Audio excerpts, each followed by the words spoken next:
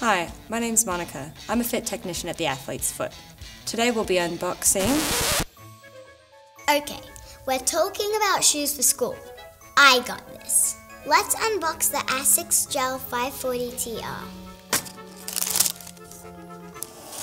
Wow, these look cool. I reckon I could do anything in these.